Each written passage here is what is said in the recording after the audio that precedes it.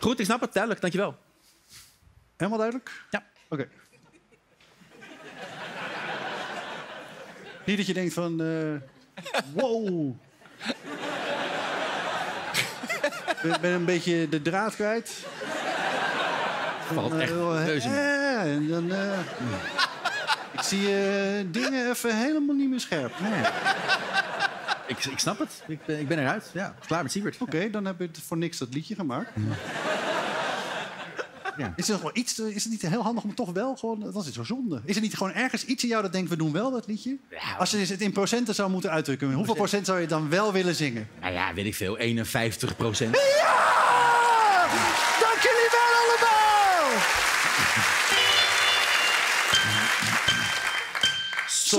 Soms denk je van wow, de draad ben ik kwijt. Dan denk je hè, en dan zie je de dingen allemaal even niet meer scherp. Daarom is het nu dus de hoogste tijd. Voor een heel simpel liedje. Over een best wel ingewikkeld onderwerp. Sievert van Linde in één minuut.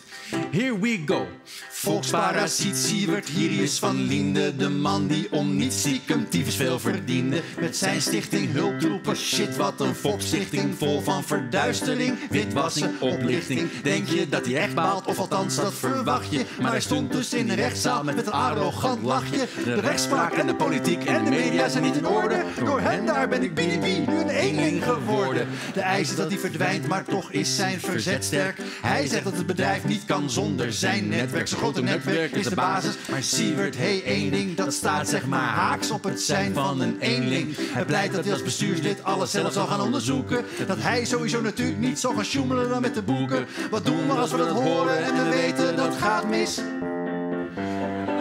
De Adriaan is, hij rijdt in een Z4 betaald van de fraude. Hij schijnt dus van vet chique auto's te houden. Nou geef ons je nummer en vraag ons niet hoe. Wij hebben een hummer, die komt naar je toe.